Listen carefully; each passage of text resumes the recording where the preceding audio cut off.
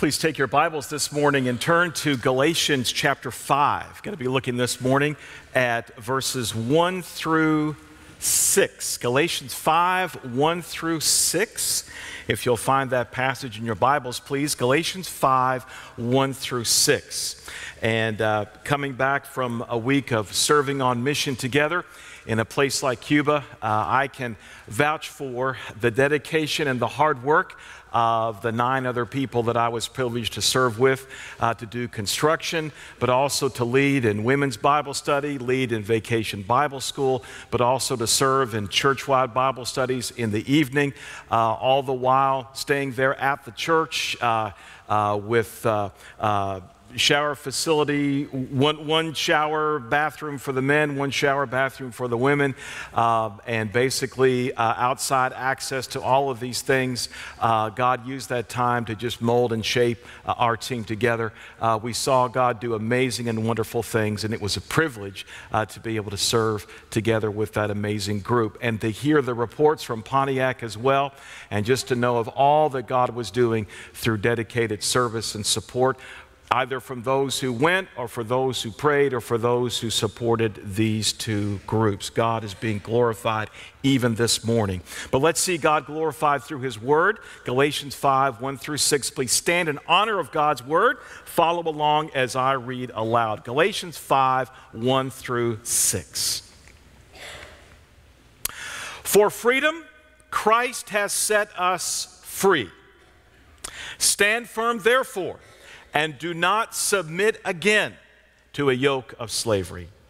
Look, I, Paul, say to you that if you accept circumcision, Christ will be of no advantage to you at all. I testify again to every man who accepts, who accepts circumcision that he is obligated to keep the whole law. You are severed from Christ. You who would be justified by the law, you have fallen away from grace. For through the Spirit, by faith, we ourselves eagerly wait for the hope of righteousness. For in Christ Jesus, neither circumcision nor uncircumcision counts for anything, but only faith working through love. Let's keep going. You were running well. Who hindered you from obeying the truth? This persuasion is not from him who calls you. A little leaven leavens the whole lump. I have confidence in the Lord that you will take no other view, and the one who is troubling you will bear the penalty, whoever he is. But if I, brothers, still preach circumcision, why am I still being persecuted? In that case, the offense of the cross has been removed. I wish those who unsettle you would emasculate themselves. Verse 13 For you were called to freedom, brothers. Only do not use your freedom as an opportunity for the flesh, but through love serve one another. For the whole law is fulfilled in one word you shall love your neighbor as yourself. But if you bite and devour one another, watch out that you are not consumed by one another. May God add his blessing to the reading of his word. You may be seated. Of all the things that are happening this morning, uh, this also happens to be my final sermon serving as your pastor. And let me say again, on behalf of myself and Sarah and Matt and Drew and Rachel, that it has been an honor to serve you. It has been a joy to serve you. And our entire family will always hold Campbellsville Baptist Church deeply in our hearts. You've loved us, you've encouraged us, you have shaped us, and we are different servants from when we came to you four years ago. God has used you for His glory and for His honor. Many of you know this, but just to say it again, uh, I have accepted a position teaching full time at Campbellsville University in the School of Theology. And so, for the opportunity to teach others who are coming through, maybe with no interest at all in the gospel, but then others who have that call to be a pastor or a missionary or a minister in some way, for God to use you through how you have changed and shaped me, even to impact further generations of pastors and servants and of missionaries. Just know of the kingdom of God and how He works everything together for His glory. Now, even though I will cease serving officially as your pastor at the conclusion of this morning, um, we're still going to see each other around town. And so, you know, maybe for that initial awkwardness at Walmart and Kroger or Lowe's, it's going to be okay okay? Because I want you to know that I am your brother in Christ. I am your friend in the Lord. I will continue to be a co laborer with you in Christ. And again, thank you for all that you have done and how you have allowed me. You've given me the privilege of being your pastor again for these four years. Um, if I want to be known as anything, I want to be known as a gospel preacher. And I'm so thankful that God led me to focus on the book of Galatians for these last few weeks of serving you because in Galatians it's all about the gospel. And I would say when we get to meet the Apostle Paul in heaven one day, the Apostle Paul would say the same thing about himself. This great church planter, teacher, mentor, missionary, theologian. Paul, how do you want to be remembered? And I feel certain that Paul would say, I want to be remembered as a gospel preacher, one who simply proclaims good news. And the good news is that God loves everyone, Jesus loves everyone, and anyone can be saved. This is the good news of the gospel. This is what the Bible's all about. It's what the Holy Spirit is all about. And it's certainly the focus of Galatians. I am not going to give you the full sermon today. I'm just not, okay? Because listen, God has been glorified, God has been honored today, and we rest in Him. We give God the praise for all that He has done. But I want you to permit me to simply say two things about the gospel today. Understand this the gospel sets us free the new identity that we have in Christ, God looks at us and through Jesus Christ says, You are my child, you are loved, you are forgiven, and you are set free. The gospel sets us free, first of all, free from the law. This has been the emphasis of Galatians. Paul says that we cannot be made right with God based upon our own efforts. We can't, it doesn't work. And yet, Paul says in Galatians 5, verse 1, that we have been set free in Christ, but we've got to stand firm in that freedom. Because the temptation of legalism is always there.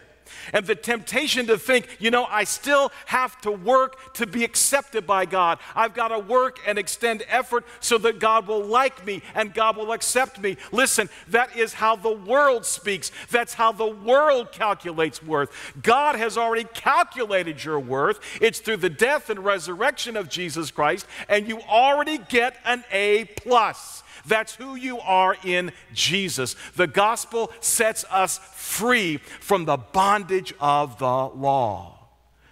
But understand this the gospel sets us free from the law, but it sets us free to love. You have been set free for a reason. You have been set free to love. And this is what Paul says in this passage. He says, Stand firm in your freedom. Don't slip back into a works based righteousness. But look at verse 13. You were called to freedom, brothers, only do not use your freedom as an opportunity for the flesh, but through love serve one another. Listen, the way, the way that you know that you've got it, the way that you know you've got the gospel, the way that you know that you've got the assurance of salvation is if you've got the Holy Spirit's presence in your heart, you know that He is there. But listen, Paul says, listen, it is love, but it's love that works, love that is energized, love that expresses itself through service, through love, serve one another. Here's the scenario you know you've been set free in Christ, you have an opportunity to do something that you know God does not want for you an opportunity to give in to a temptation or to engage in a sinful habit or practice or lifestyle. The opportunity is before you, and you know that you have already been forgiven and saved and accepted in Christ. You know that you've got that. The question is, what do you do when an opportunity presents itself? And the fact of the matter is that you could go ahead and do it. You could. Would you still be saved if you did, if you were genuinely saved, if you still strayed or, or stumbled? Listen, you, you have not lost your salvation in doing so. You are free to do that. But the question is is Jesus in you? Because if he is in you, it means that through love you will serve. Through love you will ask yourself, just because I can do that doesn't mean that I should do that. And as Paul would say over in Second Corinthians, love limits freedom. Love has the trump card. Love is always supreme. And before you engage in anything, you ask yourself, in doing so, will I be showing love? In doing this or engaging in this or having this attitude or passing along that gossip, will I really be showing love by serving another person? The gospel sets you free so that you can love. Set free from the law, set free to love. Well, I have to close by sharing this story from, from our Cuba experience. On, on the last day, we had arrived in our hotel in Havana and we were flying out early the following day. So we had some time to sightsee through Havana. And Mark had mentioned about, about Bob Martin and his love for automobiles and particularly for 1950s era Chevrolets. And there's so many of these all around Cuba, and you've seen the pictures. Well, listen, we were able to ride in a taxi that was indeed a 1955 Chevrolet. And I would have thought Bob had died and gone to heaven. And I'm sitting next to Bob. We're, we're, we're, all in this cab together, and I'm sitting next to Bob. Bob's in the middle, and the driver's next to him. I said, Bob, when was the last time you rode in a 1955 Chevrolet? And I think you said it was back in the 1970s, wasn't it? So we're talking like 40 years, and Bob was able to ride in a 1955 Chevrolet. And then Bob said, This is the best car ever made. And so I asked Bob, I said, Bob, what, what is it that makes this the best car ever made? And I, I'm expecting an answer talking about maybe the, the engine or the body style or the suspension or something like that. So I said, Bob, what makes this the best car ever made? And Bob said, Because I say it is. right? So at that point, there, there's no argument, you know.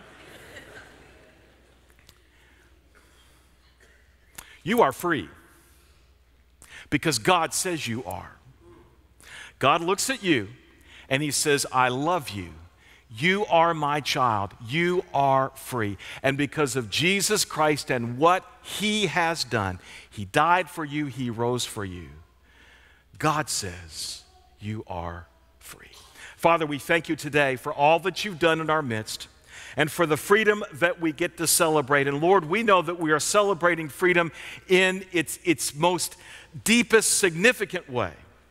And, and we understand, Lord, that, that a person can live in America and still not be free.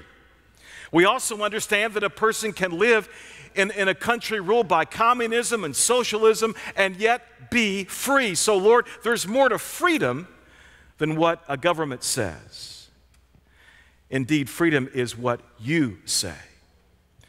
So, God, we praise you today for Jesus Christ and for the word of Galatians 5. You are free in Jesus. And Lord, I pray this morning that for anyone here that needs to know freedom in Christ, that you would stir them up and that they indeed would know that you are drawing them to yourself. And indeed, because it's about freedom, you will not force this upon a person. But Lord, would a person indeed simply open up his heart, open up her heart, and say, I trust Jesus? Father, we know that no one can make this decision for us. It's something that we do to simply trust Christ. Father, I pray this for the person who's never done it. I also pray for the person who has done it and yet they sense that they have fallen back into a rut of legalism or works based righteousness. Lord, may we all today celebrate the freedom that we have in Christ. And may we leave this place celebrating you and the good news of Jesus. And it's in His name that we pray. Amen.